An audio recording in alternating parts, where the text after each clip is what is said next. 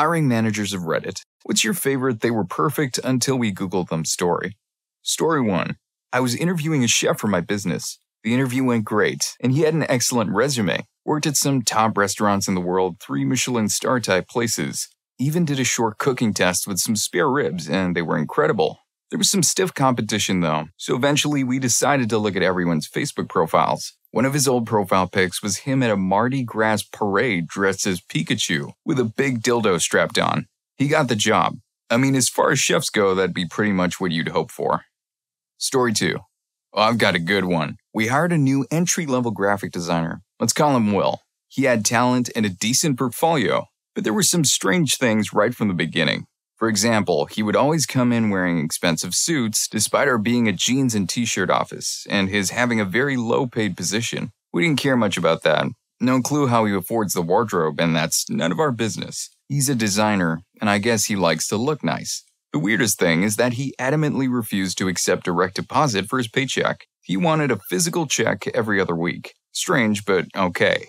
So one evening, we're all working really late on a project together, we got some bottles of wine around, some pizzas, etc. It's miserably long hours, but we're a good team and having a good time. All of a sudden, Will looks up from his computer and freaking runs as fast as he can out the door. Not a word to any of us, he just dashes out. We all look at each other, trying to call him, with no answer. We finish up the project and go home, still wondering what happened. The next day, Will doesn't come to work. He doesn't come in the next day either.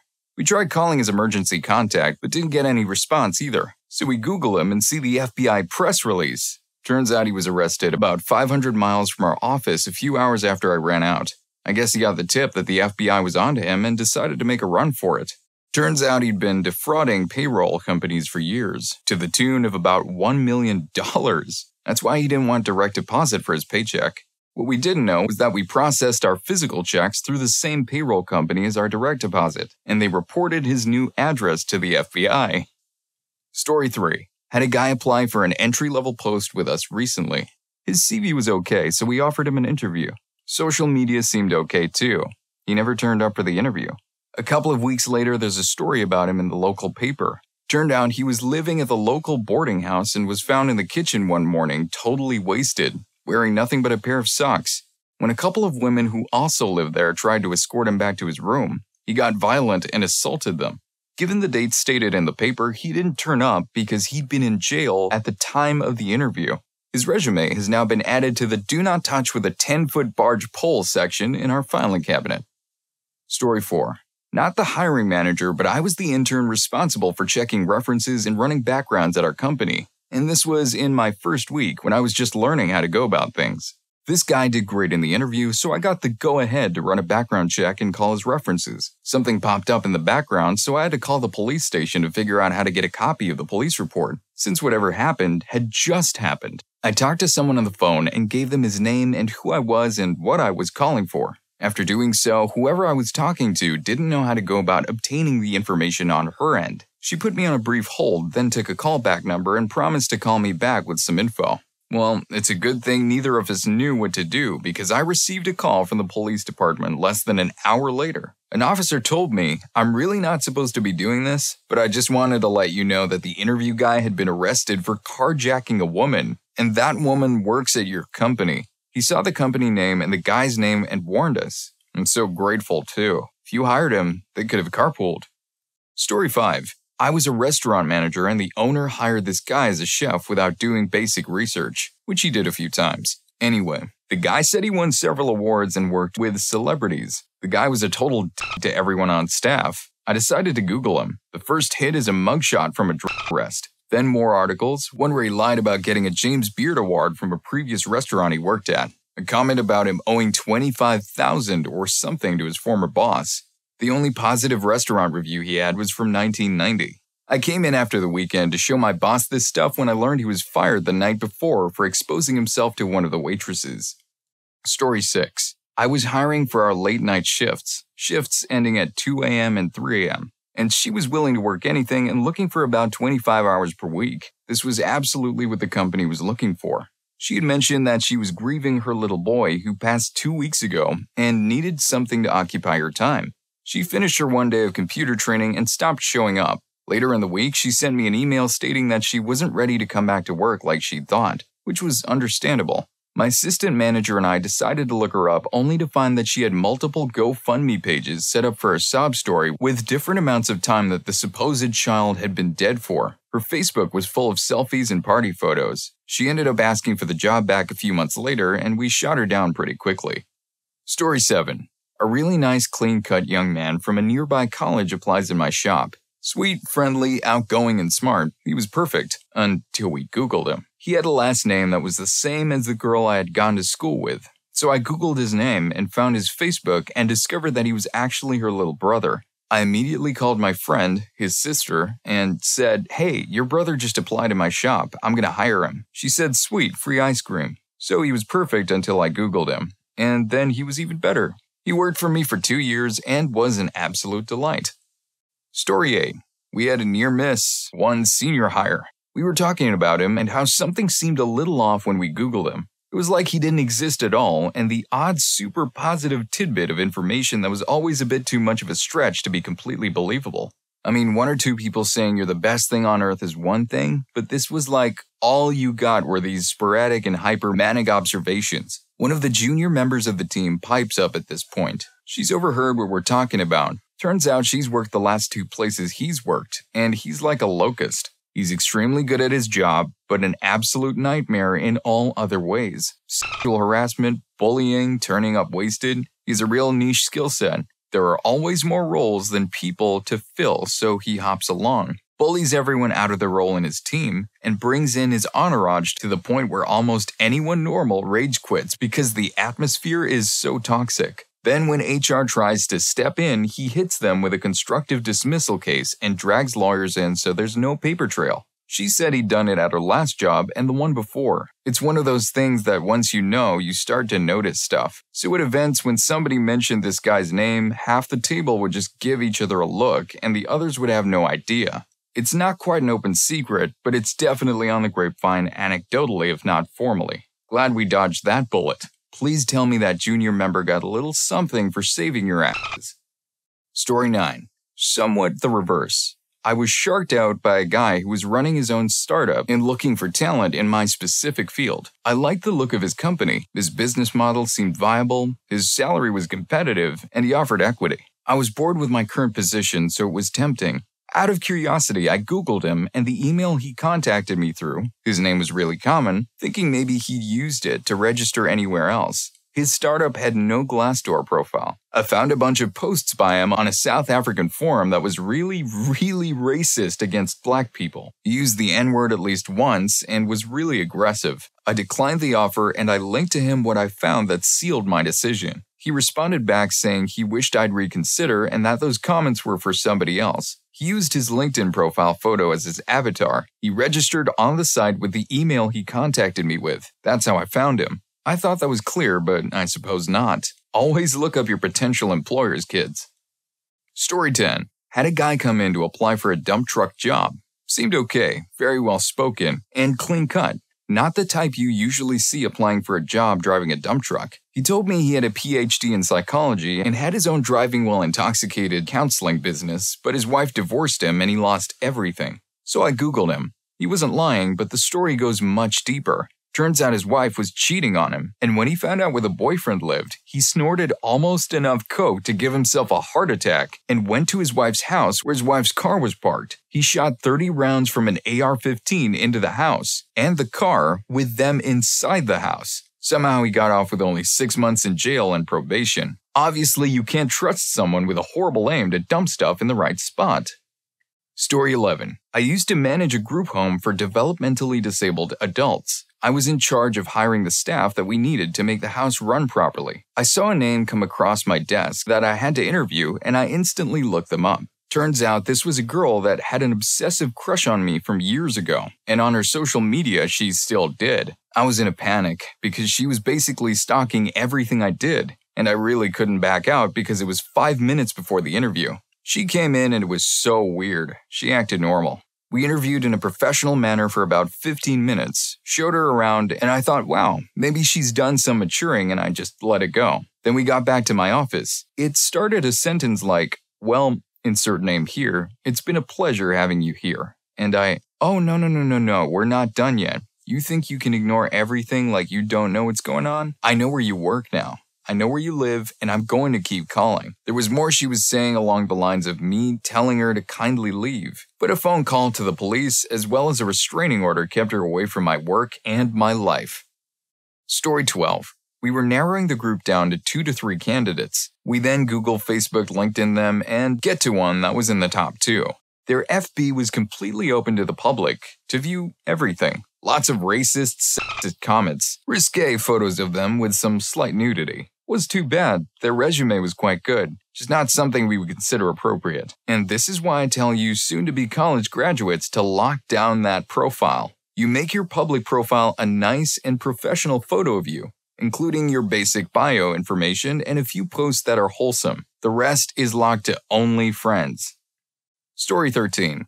Little different, but a story that always entertained me. I worked for a staffing agency. The guy is hired and comes in for a background and drug screen. He has lots of priors, but he was working in a kitchen, so we got the okay to continue the process. It wasn't until after the drug screen that he got a little nervous. I told him that we're going to do a drug screen now, and he asked me to put it off until Monday. Typically, we'd have to do it that day so they could start work, but this was like 4:45 on a Friday and we wanted to go home, so we said yes. Monday rolls around and he shows up. He takes the test and it comes up positive for weed, cocaine, and some other stuff. We told him that we test multiple things and that cocaine also showed up. We asked him if that was a surprise. He told us, I dabble in cocaine, but I thought this was a test for weed. We politely said that we couldn't hire him. There are so many weird stories from working at a staffing agency. Story 14.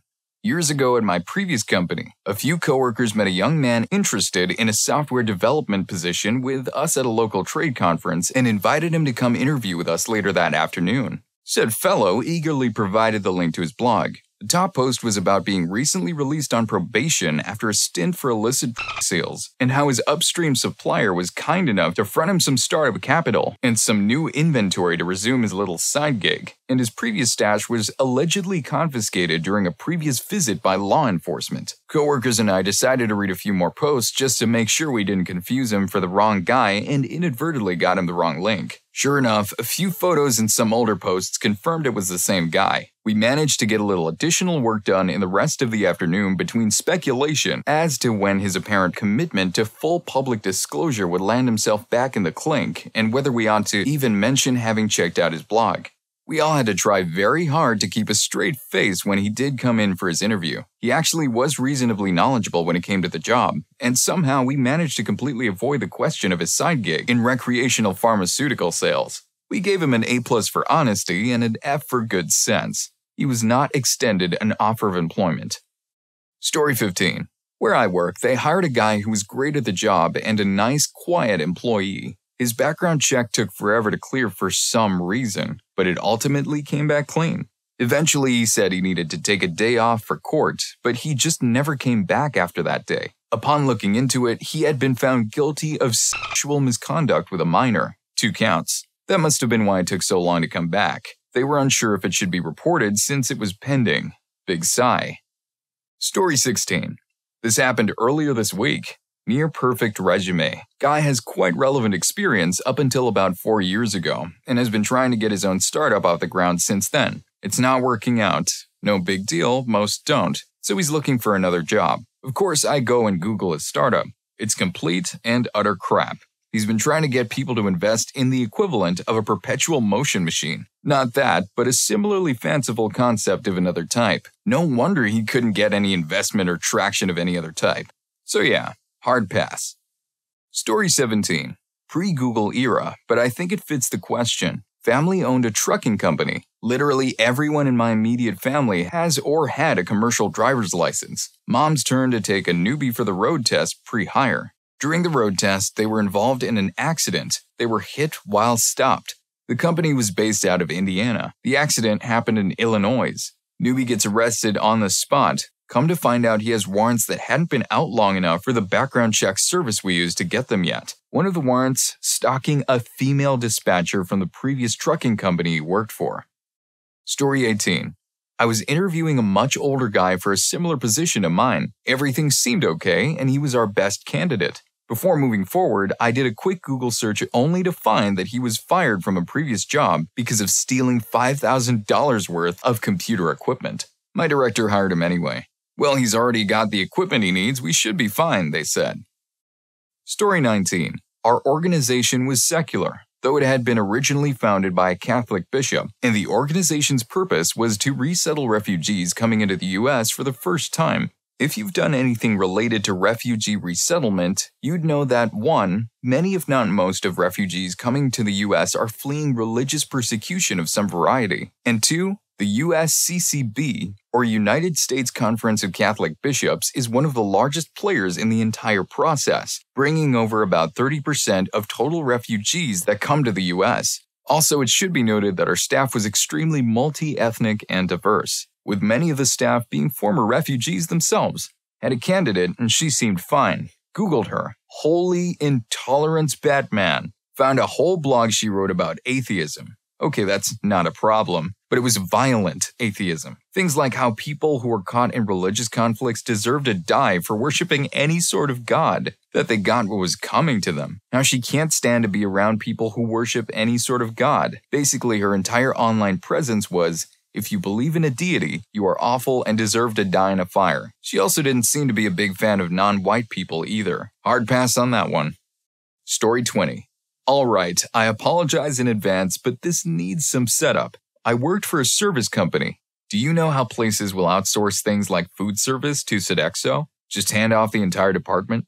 That was how our company operated, except we specialized in maintenance, housekeeping, and laundry. I worked in the healthcare section of this place. I was assigned to a large nursing home and basically given charge of the whole department. I was a department head and sat at the big table with the director of social work. The only difference was that they were employed by the facility and I was getting paid by a third party company. This is important because, to all outsiders, I worked for this nursing home and so did my entire staff. We were constantly hiring housekeepers. It was a terrible job and the pay was horrific. You could make more money as a cashier at a convenience store without ever having to haul around giant tractor sized garbage bags full of poopy adult diapers. So we always had jobs posted, and I always kept a stash of applications at the ready. One day I get a call from the front desk saying someone wants to happily apply. I'm busy. Fill out the app and leave it. Nope, she's insistent that she needs to see me. This is a big red flag given the terrible nature of this work. If you're that desperate for a job that is this terrible, then there is usually a frightening reason. But I meet her anyway. She's nice, but seems a bit off. Her work history is solid. She seems motivated, but there's just something striking me odd about this woman. She's early 60s. After she leaves, I immediately call my counterpart at the last place she worked. What she didn't know was that we both worked for the same company. That if she came to work for me, she'd be working back at the same company she just left, she likewise didn't know that we had the contractor for all but two nursing homes in that 50 mile radius, and we were in close touch. As soon as I mentioned the name, the other manager just yells, Nope, into the phone. She had been a certified nursing assistant, or CNA, but she was fired by that facility. She was brought back in as a housekeeper because we had two different HR systems and she slipped through by switching shifts. She had been fired as a CNA for trading hand jobs for drugs. She'd dug off an elderly resident in exchange for their pills, basically. As soon as the other guy found out, he fired her, but not before complaints hit his desk that the new housekeeper was up to her old shenanigans. Come to find out that her long career was actually far worse than it looked on paper. She was a licensed practical nurse for years, but lost her license and job for stealing drugs. She became a CNA because, at the time in my state, CNAs were certified not by the state, but by private facilities. You got to call yourself a CNA if an RN worked through the 15 hour state mandated training with you, but you just had no proof of completion for the course as evidence of this. You didn't actually get licensed by the state, which is no longer the case. So basically, she would just change her job title, Jobs where she was a nurse on a resume became jobs where she was a CNA. Then, after the shoe dropped, she just went back and said she'd been a housekeeper the whole time. She resurfaced some years later doing private duty personal care.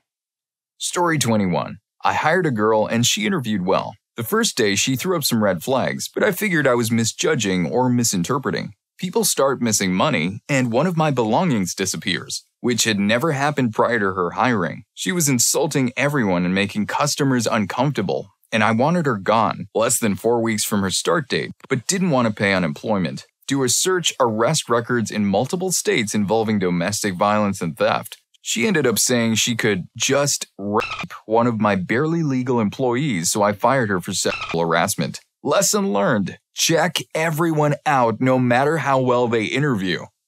Story 22. I share my dad's name, so when you Google my name, you pull up his exploits. Stuff like being arrested for having seven semi trucks worth of weed in his driveway. Thanks, Dad.